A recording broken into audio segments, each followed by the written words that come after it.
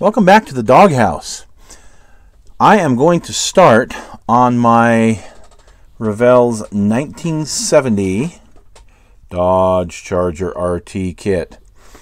Uh, I've been looking forward to doing a 1970 for a long time. And I have a video coming out one of these days that you will see my collection of Dodge Chargers from 1967 on up. And I have quite a few but I've never really had a true 1970. I have done a conversion where I've made hmm, a pretty pretty decent rendition, but I was so happy when this kit came out. Well, the first thing I'm going to do is I'm actually going to put a vinyl top on this kit. And so I wanted to go over how I'm going to create a vinyl top. What I've done, first of all, is I looked at the pictures to see what a vinyl top looked like on a 70 Charger. That was quite important. And what I'm going to need to do is I'm going to need to mark the approximate area where I'm going to put the boy I don't know what they are called. It's just it's where the vinyl top overlaps. Um, and I'm going to use some half round um, styrene. And what I'll do is I will just put it on here and I will glue this down okay? And that's where I'm going to start. And then of course I'll put the uh, the trim along the bottom here and along here. So stay with us and you'll see how I build a vinyl top. Well, you can see that so far we've put our strips on here. I have put the um, the inner part of the molding here. This will be a, a chrome color. And I've put molding right along here. Now, I'm in the middle of putting on my uh, masking tape, and I'm using Tamiya's tape to tape these areas. I'm going to put some on right here because I don't want to get any of this paint that I'm going to spray on my moldings that are going to be chrome. So I'm going to put some on here. And then I've put this blue tape here because the paint that I'm going to spray kind of gets everywhere. So I want to make sure to cover the body of the car so that I don't get a bunch of overspray. So we're going to finish masking this up and get ready to Well, now we are ready to paint the vinyl top. I've got everything masked off that I want to have masked and we're ready to go. Now what I use is this Rust-Oleum multicolor textured paint. Um, this is kind of a gray and white speck and it doesn't really matter because we're going to be painting over that anyway. So get ready and here we go. Just light, light shots on this. I'm not trying to put a lot of paint down, just enough to cover.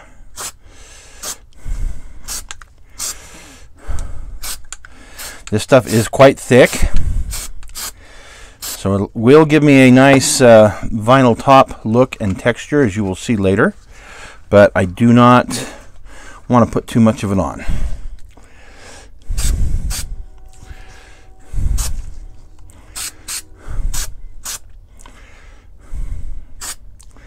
Make sure I get everywhere.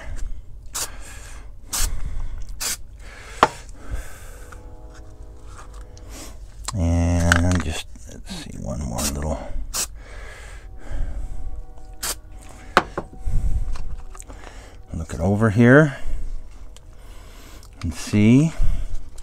Let's see, here's a little spot I got to get. Right in there.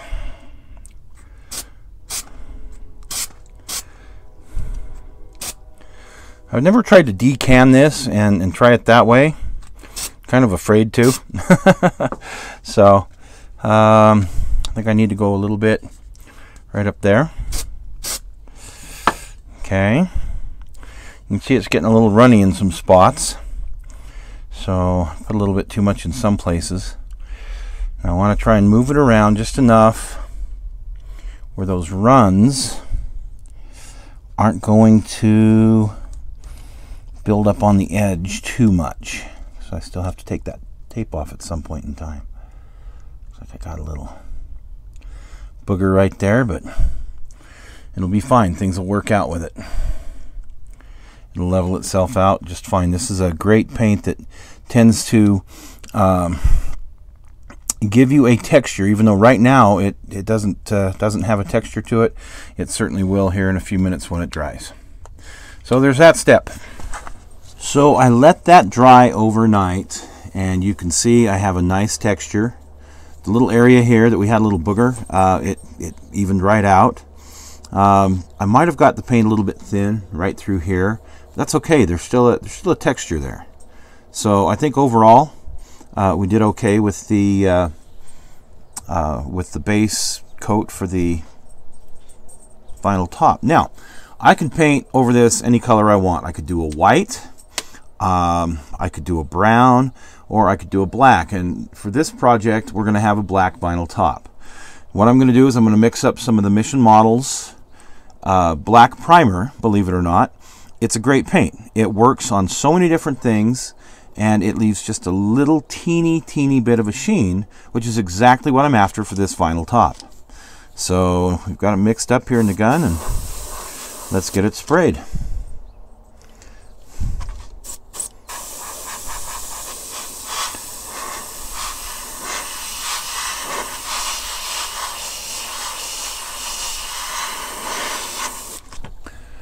Well, I've taken the tape off and you can see that it's pretty much dry. There's one little spot that's just kind of finishing up there on the top.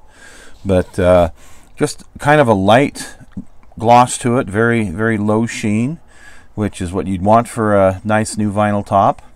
Uh, I think it turned out pretty, pretty darn good. Quick, easy, and I think it looks pretty darn good. It's too bad I don't keep this car white because, man, that sure would look awesome on there. But we actually have other plans for this body.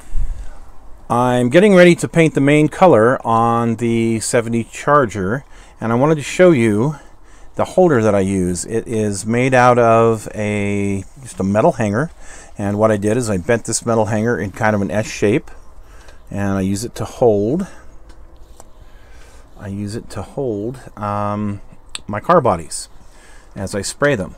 So the first thing I'm going to put on is a primer coat and I'm just going to decan some of this and put this on. I, uh, there's other primers I use as well, but this is the one I'm going to use tonight. And then, not that I usually use a rattle can, but I have this one of uh, Testors lacquer system, and I'm going to use this to paint the body with.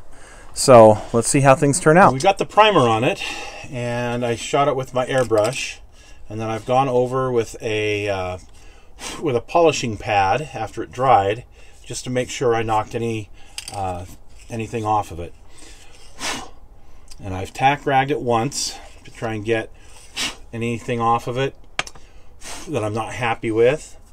And I'm just blowing things right now, making sure I don't have any little boogers in the paint. It's one thing that really bothers me is to get things in my paint. So, should be ready to go. I like this lacquer system because it does dry fairly quickly.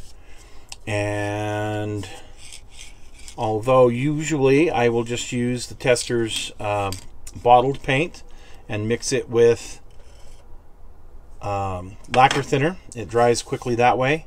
Uh, this particular paint uh, works out very well.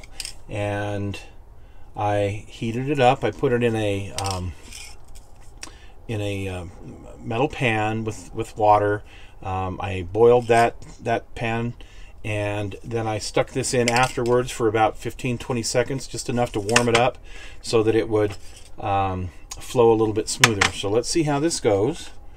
Um, I think I got everything I wanted there. With this I'm just going to give the first coat as kind of a mist. Something for the other coats to bite to and there is the beginning. Well, we have finished up with a second coat of that lacquer base system, and I really like it. Between coats, I just give it a light uh, polishing, and you can see that there's no boogers in the paint. It's actually got a decent shine to it. But what I'm going to do now is I'm going to take some of this. It's a high gloss Model Master um, uh, enamel, and I'm going to mix some of that up and, and give it a coat on here just to try and get a little bit better shine. We'll see how that turns out. I'm working on color sanding the Charger. And how I do it is I use these polishing pads. Um, I had four of them, but I seem to be missing one somewhere. Uh, I'm going to start out with the 1200 grit. Um, actually, as, as smooth as this paint is, I'm probably going to go with the, I think it's 1800. Can't remember, I've used it so many times. Um, anyway, and so what we do is we just go uh, get it wet and lightly go over the finish of the kit, or of the model, I should say, very lightly. And what this does is it smooths out the ridges on the paint, or the, uh, what do you call that? The orange peel, the little bit of orange peel you get. Now with these these new lacquer paints, they work really, really well, and they're pretty they're pretty uh, smooth, but they don't have a fabulous shine. So you put the gloss coat over them. Well, of course, there's a there's a little bit of orange peel, and on this particular one, I know that it's really hard to see. See if I can get an angle on it there. Um, not really, but you can take my word for it that uh, it's a little bit lighter, a little hazier, and I can see the dimples appearing. So I know that I've got to go deeper. Then I'll move up to the, um, well, actually, I'm going to move up to my 4,000. 4,000 is as um, is as fine as I have and I'll lightly go over uh, the surface with that. Now, I have to be very careful on corners and edges because this will take the paint completely off in areas like that. So I have to be I have to be careful with that.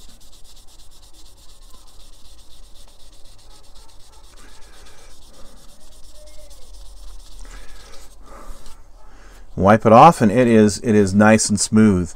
In fact, it looks like uh, green plastic. Uh, I really like that look. Uh, keep in mind that I don't like them overly glossy. a lot of the gloss coats you'll put on will make them look a foot deep and uh, ooh ah that's great. Except for if you look at the real cars um, they don't usually look a foot deep especially the old paint jobs from the 60s and 70s uh, they had a good shine to them but they just didn't have that that incredible depth. Uh, this is still going to have a nice depth to it and a very nice shine to it but at least it'll be nice and smooth. So I'm going to continue to work on this and, and we'll see how it turns out.